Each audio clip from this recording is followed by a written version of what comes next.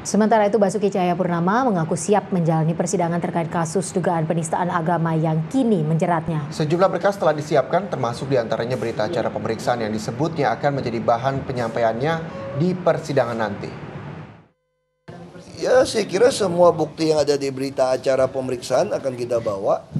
Kita juga sudah siapkan yang sampaikan. Ya itu aja sih. Nah, sesuai yang ditanyakan juga berita acara pemeriksaan yang jaksa nuntut juga akan berdasarkan kita jadi tersangka kan hasil dari BAP. Nanti juga dari BAP akan tanyakan pada kami lagi.